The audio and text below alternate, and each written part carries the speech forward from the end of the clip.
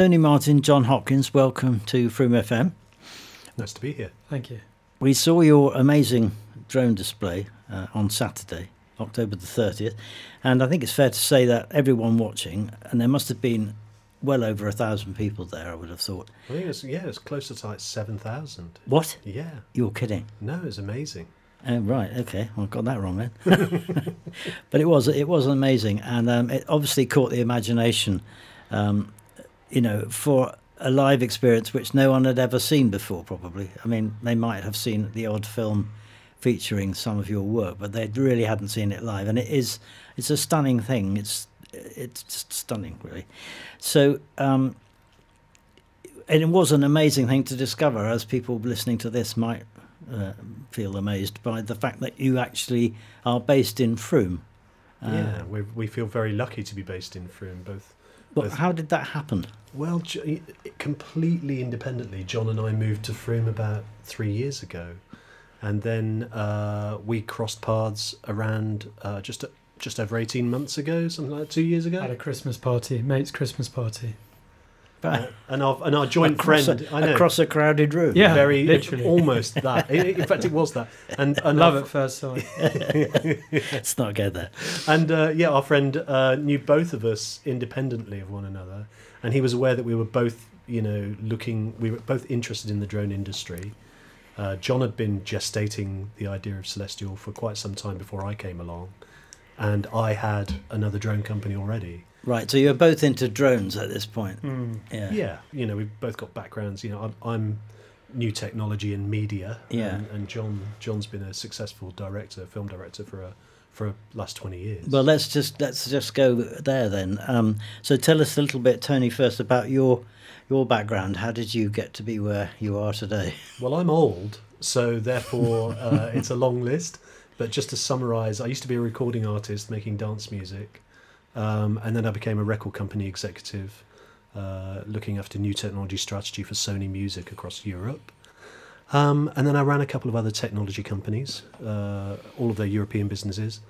And then um, eventually started my first drone company, started playing with drones around nine, ten years ago. Mm. Uh, created my first drone company a few years after that. And what did that do?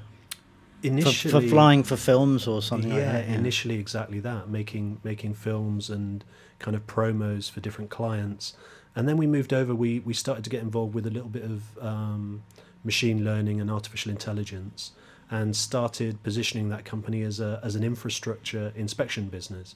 So, for example, working with telcos to inspect their their telecoms masts around the country. Um, that felt a little bit dry so I was really happy when John came along because uh, it gave me the ability to kind of get back into creativity and technology. And my whole career has had a thread of, you know, creativity and technology running through it. Mm. Um, and and so this has given me an amazing opportunity to to bring those two facets of my career back Mm. together again. And yeah, uh, and and and here we are now.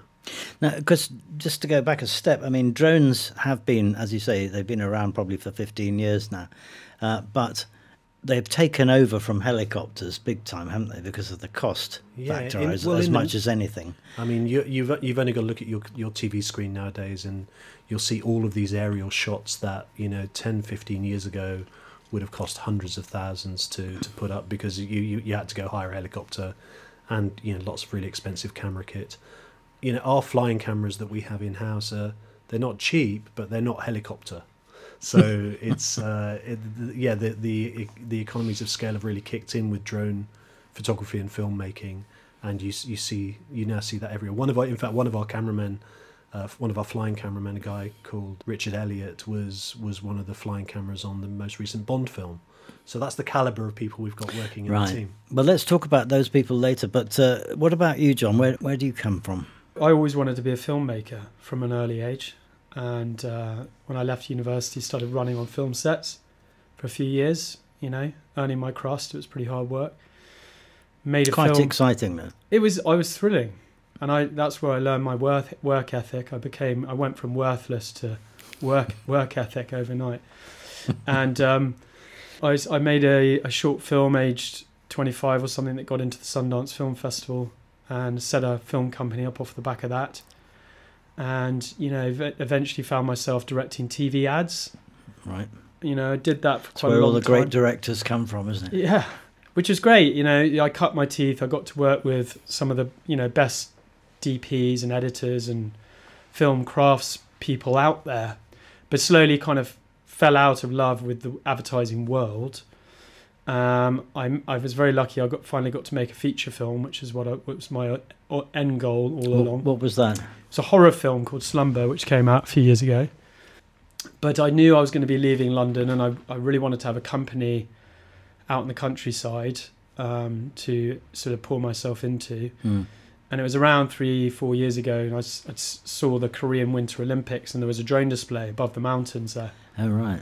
And it just occurred to me that this, the sky might be the next screen, actually, and that these drones, these pixels, even in this kind of infant stage, would probably evolve into photorealistic graphics in the sky, Hmm. and that this could be a brand new artistic medium through which to tell stories. And then at the time, I was I was bumping into a guy called Nick Kowalski, who is actually the third founder of Celestial, and his background was as in live events and as a drone engineer. And so, you know, Nick and I looked at each other in the eyes and thought, could we try and set up a drone? You know, use your drone engineering and my filmmaking Hmm. skills, and could we do this? Hmm. And that was the beginning of a long kind of journey trying to figure out how on earth you set up a drone display company. And, and it was only really when we got to Frome and realised that probably we needed someone to help come on board and drive the business, you know, that bumped into Tony just serendipitously. And So- that was really the beginning of Celestial. It, it is a massive invention, this. I mean, it's culturally a massive invention because it will lead to all sorts of things down the line. Um, how does your technology work? Um, you, you use normal drones, that commercial drones? No. It's quite a complex process. Um, and in our team, we have designers, storyboarders, animators. Um, and then in terms of delivering the show itself, we, we have to go through around 10 different bits of software in order to finally go into the flight control software that in turn controls the drones. The drones themselves are not are not the commercial drones that your listeners may be familiar with, that they may buy off the shelf. Um, they're essentially flying light bulbs. They're designed specifically to be display drones, so they don't have cameras on them. They don't have any of those kind of ancillaries that you might expect. Um, they literally are very good at being in the place that you put them, so they're very accurate positionally. Um, but apart from that, they're a light bulb in the sky. But they use GPS like other drones, do they? We use GPS, but we also have an extra layer of accuracy that we put on top of the G- GPS called RTK. So typically, GPS will give you one meter accuracy, RTK will give you 10 centimeters accuracy. Wow. So we just use one layered on top of the other, and that means that when our drones are flying in formation, they do so safely and they avoid collisions and so on and so forth. Yes, you don't want them bumping into each other, really, do you? No, and we got lots of other safety bits and pieces as well. You know, we use these things called geofences, which is essentially a virtual cage that wraps around the whole display, and that prevents any of the drones leaving a designated area. Oh, wow. So they we, we have concentric geofences, meaning one inside the other. Right.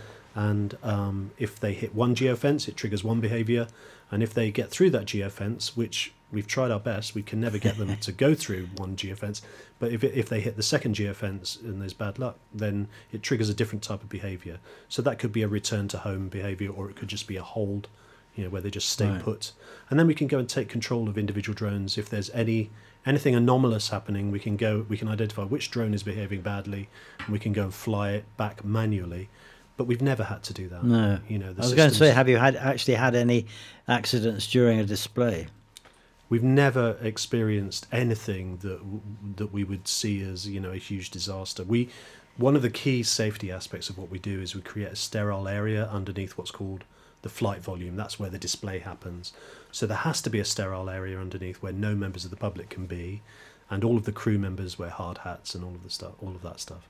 And uh, in that sterile area, you know, it, it's it's the same in radius as it is the height of the display. Right, because you're So- thinking in 3D all the time, aren't you? Yeah. And I think that's one of the most impressive things about it in the sky, you know, is that it is so three dimensional.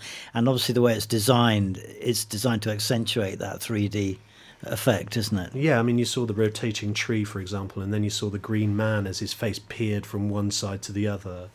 And it's Mm. really important that we can kind of you know, orient the, dis- the displays to, to service the, the audience that's that's viewing it. So Mm. there's a lot of flexibility in that. Yeah. So on Saturday, um, how many people were there from your organisation putting this thing together? I mean, from the taking the drones out of their boxes to wrapping it all up at night. So you have ground crew, you have flight crew, and then you have camera crews. And altogether, I think on Saturday there were about 45 people from our team there. Wow. So camera crews do what do they do? Well, John can speak to that because we have an in-house camera unit, and because John's our creative director and he's got a background in film, he can probably Yeah. talk better about that. Okay. Well, you know, each time we do one of these displays, it's a big effort and it looks fantastic. And we want to capture it on film as in the best possible way we can because ultimately each one of these shows is a potential piece of marketing for us. Of course. And because we are eh, filmmakers as well as drone artists, you know, we're pretty good at capturing this stuff. And, you know, each time we make a really lovely little bit of film about one of our sh- shows, that goes out there into the onto the web and, you know, generates buzz and publicity and we get yeah. more work off the back of it. Can you reuse these uh, sequences? We can, but we tend not to.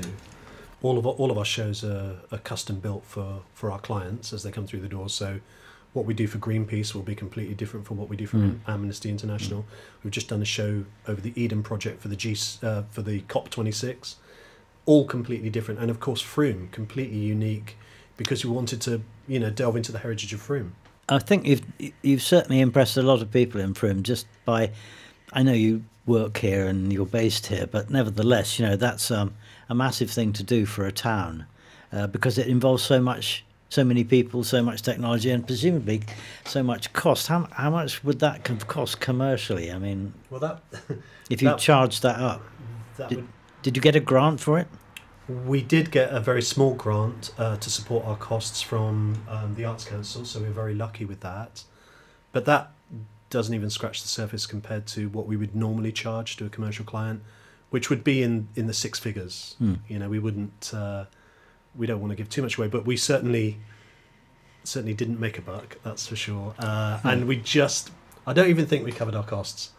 But but but that's not the point. The point is we love Frome and what we what we aim to do every year and, and John will speak to this is you know we want to be able to deliver this kind of show to a town like Frome that otherwise might not be able to afford it Yeah. so it shouldn't just be big cities around the world we don't just want to do the giant marquee events, the Super Bowls, the kind of Coldplay tours. I mean, we, we want to do those things, but we feel like, you know, we've got this brand new artistic medium that actually generates a really profound emotional response and can have a very unifying effect on people.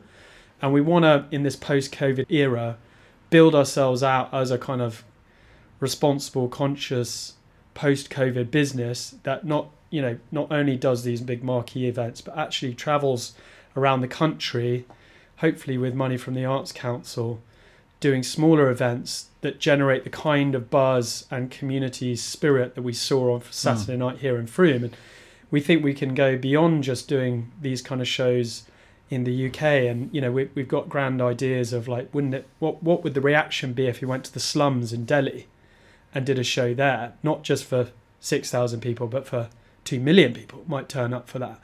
What would the impact of our show be for those people? Mm. or going to the to a shanty town outside of Cape Town for example. Take take it there take the magic there and bring people together over there and lift people's spirits It's all about the message as well, isn't it? I Mm. mean, I thought that, that one thing that people seemed to be very impressed about on Saturday was the fact that uh, you had children performing, uh, reading material, you know, whether it was recorded or live. I, can't, I couldn't see whether it was recorded or live, but I mean, there are nevertheless children involved in very ethical kinds of conversations that that you were having with the audience, and I think that's very impressive. And obviously, you know, it's impressive enough to look at, but if you can also uh, understand something through it, I think that's a terrific, Mm. you know, that's a big bonus, isn't it?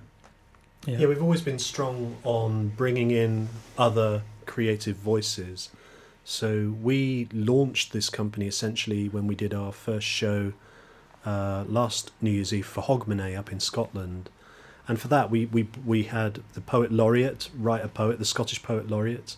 We had people like David Tennant, the actor, reading the poem for us.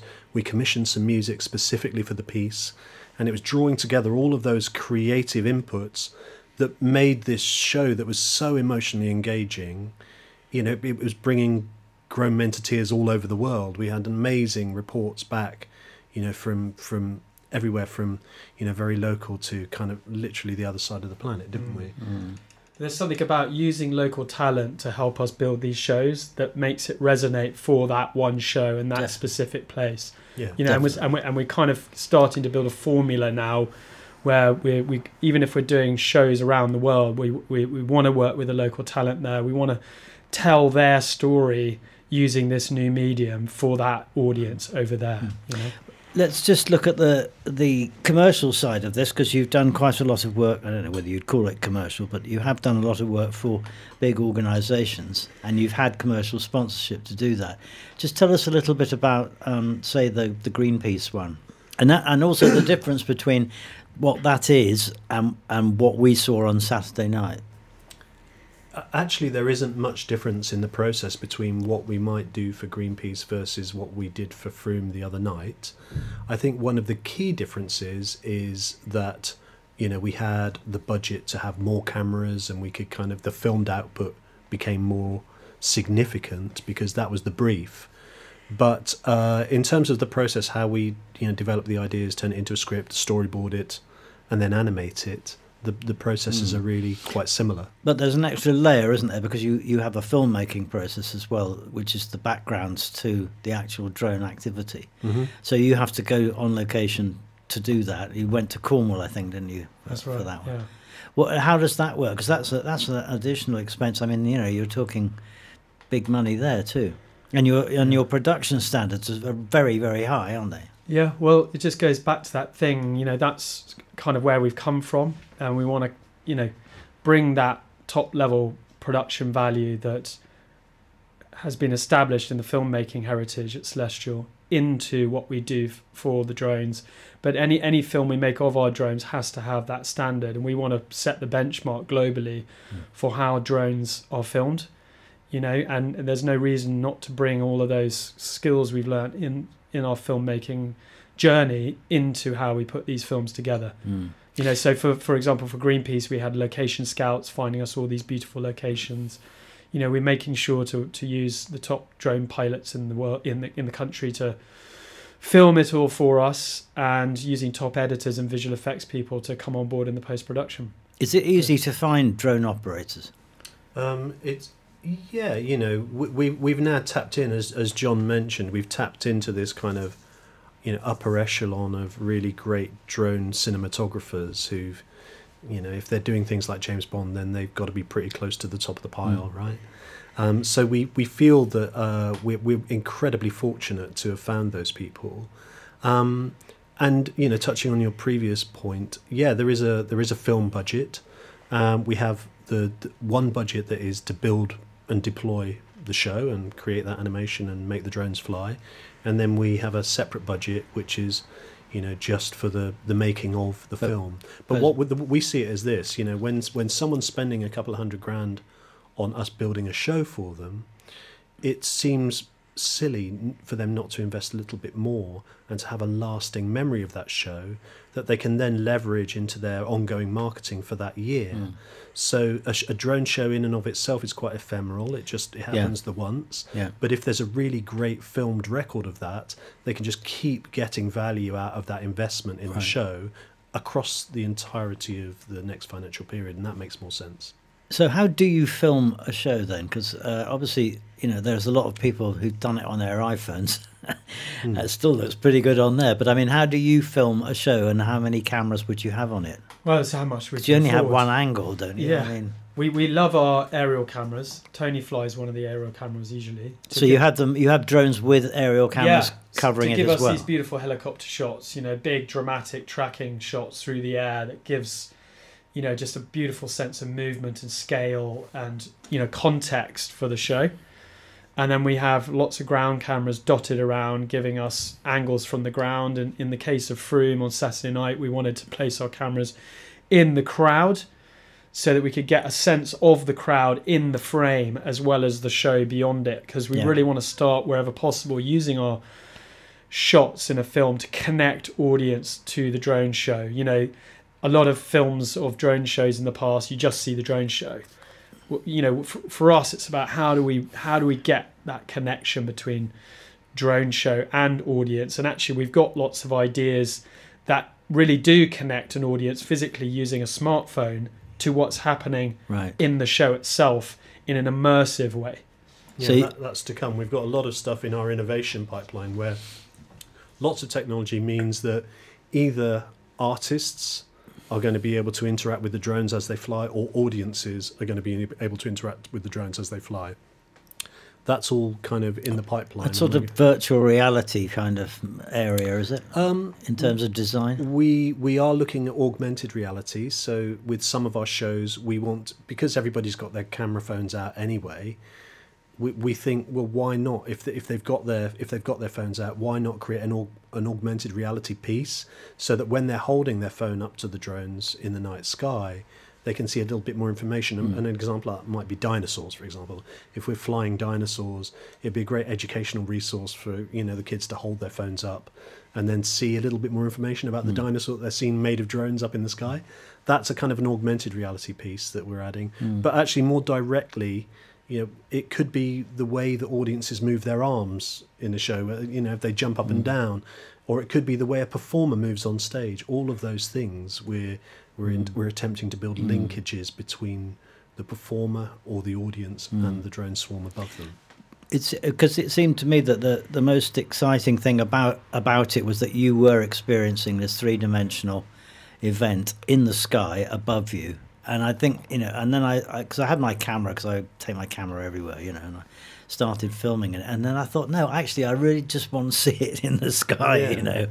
yeah. Um, but uh, I know but that's it the was sad thing at many many concerts at the moment. People uh, they don't look at the people on stage anymore. They look at their phones, which is looking at the people on stage. yeah, yeah, yeah. and that's that's we, yeah we want to try i mean one of one of the things that we talk about a lot is you know i- i- in the world that we live in right now a lot of people spend time looking down at their phones and we want people to look back up again at the sky and engage because it kind of opens people you know when as soon as they're looking up and they lift their gaze from their pocket technologies it's as john says you know it's a shared sense of wonder isn't it john? We sort of feel like actually what our medium is is the stars. We feel like we're bringing the stars to life.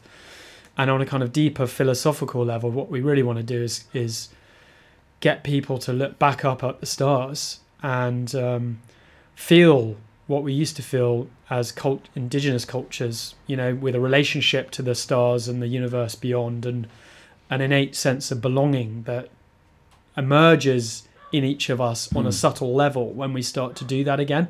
You know, we've had our heads down for so long that we've kind of grown into a sense of isolation and alienation in a kind of divided world. But you look back up again at the stars and you start to, on some small level, feel a sense of belonging. It's it's funny also that you know there was this this shared sense of reverie. You know, there were definitely moments in the Freedom Show where people were cheering and clapping and stuff, which was lovely. But something that someone pointed out to us recently, there were also these moments of wonder where everyone was quite silent because they were looking up and they didn't know what was going to come next. And that was really lovely, you know. The, and that that that's the the shared sense of wonder we're talking about, Mm. where everyone is almost dumbstruck by what they're seeing and they're completely engaged and Mm. it's just un it's unfurling in front of them and that it, we don't have enough of that as a society No. you know where we're sharing an experience and everyone's feeling the same about the thing that they're looking at it's a really lovely thing to see i think But it is very expensive to produce, and um, you know it's always going to be quite expensive to produce. well yes and no. I mean certainly you know let's let's think about i don't know um, any any technology you can think of you know from computers to cars to, to whatever it is.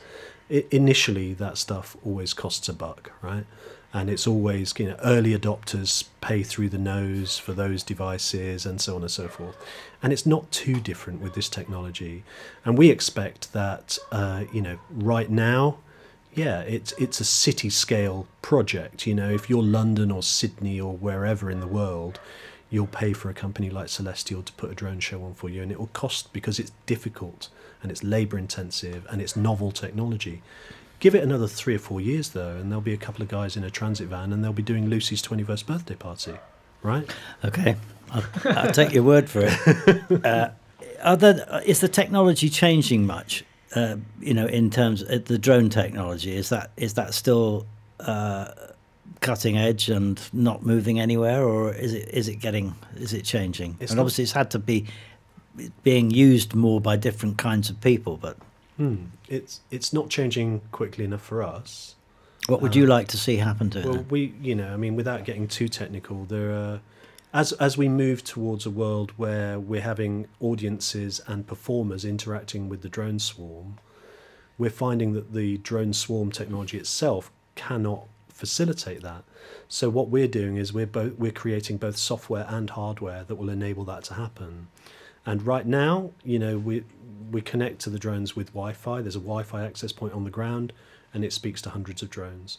What will happen, and what we're what we're currently prototyping, is that every drone becomes a Wi-Fi access point, and that gives greater accuracy, more resilience, and it means that the the whole swarm, the bigger it gets, the more stable it gets. Hmm. Right now, with existing technologies, the bigger the swarm gets, the more challenging it is to get the signal to those drones and make them behave in the way you expect. Right. So we are developing both software and hardware to um, help move the industry forward and to do some of the exciting things that we've got planned. So Wi-Fi is absolutely critical to this. Uh, are there any kind of um, uh, climate restrictions? You know, I mean, can can you do this in the rain, or uh, you know, what what what could hold it up? What could I just stop it from really happening? just think fireworks. I mean, if there's too much wind and too much rain, it's it's not going to happen. right? Essentially, Hmm. we've got weather limits. We keep a close eye on the weather. We were very lucky with Frome. We had Hmm. a little bit of rain blow through a couple of hours before the show, but we we've got all sorts of uh, access to meteorological data, and uh, we we look historically back ten years, look at that data, and then we obviously have you know multiple bits of kit that are looking at Yeah. weather as it as it rolls through. Right. But one thing somebody's asked me several times is why was the show so short? But again, I would point you towards fireworks. I mean, your average firework display is going to be between five and ten minutes. You know, people don't hang around the whole night just watching fireworks go off. Um, but we do have some technical limitations. You know, we we have battery life to consider, but more than that, actually, we we are limited by the numbers of points there are on a, an animation path, and each we we're limited right now to eight thousand points on a path. So, So one eight thousand transitions from one position to another. yeah, so what, what, well, actually, it's the points on a path as it makes those transitions. Oh. God! Right. Okay. So um, yeah, that's that's the current limitation, and that means that, and we're working on this. That's that's why I say that, you know, we want to develop software and hardware, but we we're working on making that a non-issue. But right now, yeah, eight thousand points essentially translates to eight minutes. Right. Okay. Yeah. Well, that's very but, but we, interesting. we can do things. You know, you can have eight. You can have hundred drones flying for eight minutes, and you can have another hundred dark, and then taking off and replacing them. You But- can you can extend. So you can extend shows. it, yeah. Well, I Yeah, mean, what about um, Edinburgh 2020? You did a fantastic show there. Um, how did, how was that? I mean, how many drones did you have for that one? 150 drones, Right. Yeah. How many did you have on Saturday? uh, closer to 300. Wow. Yeah.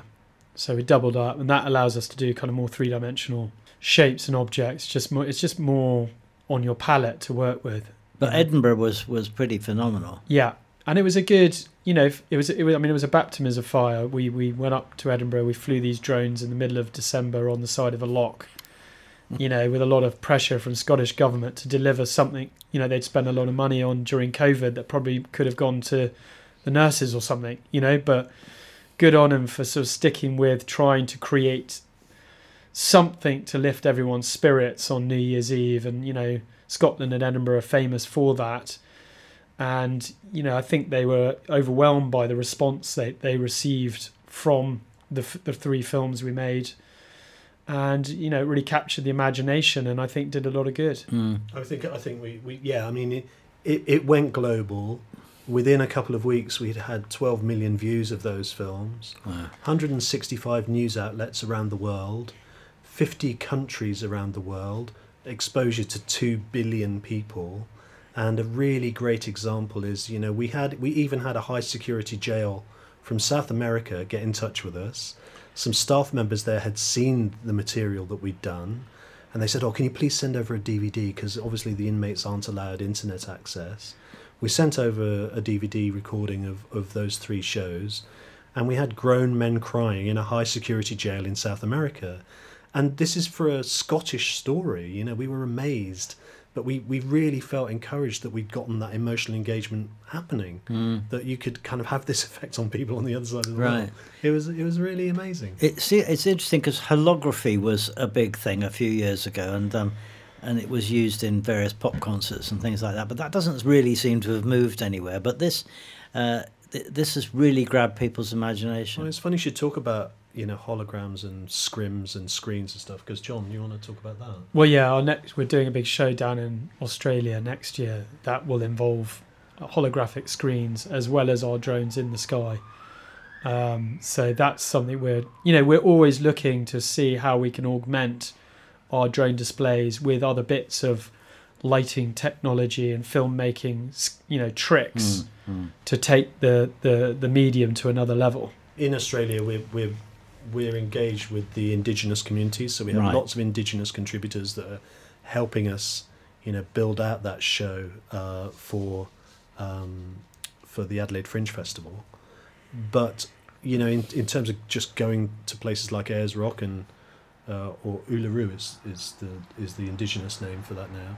We we we can't just go there and plonk our drones there Of we- course, what we have to do is engage with the indigenous Yeah. community and and work with them to figure out the most respectful way of kind of in, integrating our technology into their amazing you know uh, millennia old storytelling. Uh, you know that word of mouth that that that, that kind of oral tradition they've got. Mm.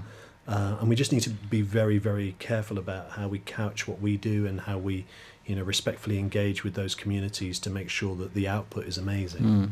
But it's great to, to hear that you are ethical. I mean, so many companies, uh, you know, tech companies have invented stuff that has destroyed people and, you know, that are not used in the correct way or, or an advantageous way for, for people. And you seem to have a, a, a driven desire to make it uh, ethical. Well, I think undoubtedly technology can be used for good. You know, I mean, I think it's very easy just to fear technology and, and blame technology for things. And yes, you know, technology often gets used irresponsibly, and technology is advancing so quickly that it's hard to police it, you know, quickly enough. Yeah.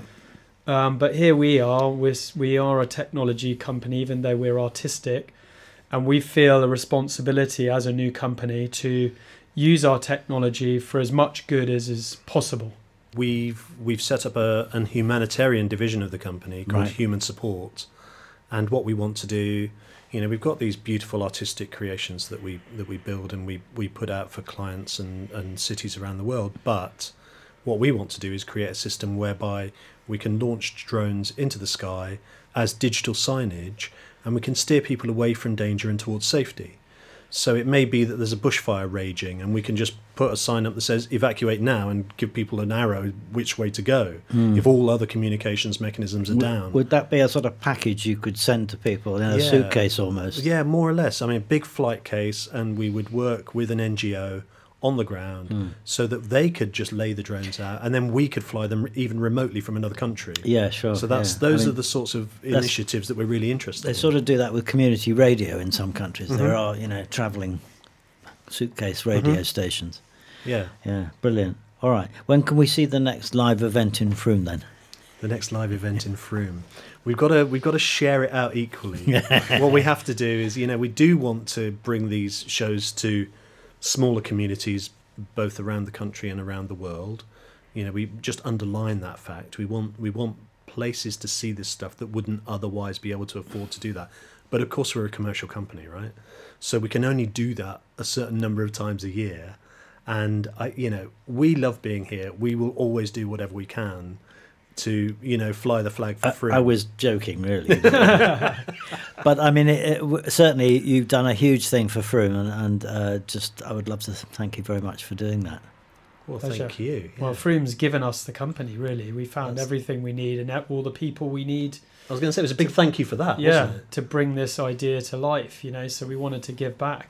Yeah, almost every staff member, almost every team member has come from Frome. That's a strong, Which is- astonishing. It- It's crazy, you know. When we, when we first, even even when we were first looking at creating the brand for the company, John and I thought, oh well, we'll have to kind of go to a branding agency in London or at least maybe Bristol, possibly Bath. You know, we were kind of thinking like that, and then we put the word out that we were, you know, creating a brand for the company. And I think we had seven local firms pitch to do the brand, Really the good branding the- quality branding agencies. Yeah, it's a, it's a, amazing who's in Frome Yeah. come out of the woodwork. Yeah, it was Yeah. great. Yeah. All right. Well, thanks very much for taking part in this, and uh, wish you all the best in the future. And hopefully, uh, we'll see some more of your work soon. Yeah, lots of love to Frome, and, and thanks for having us. Thank you.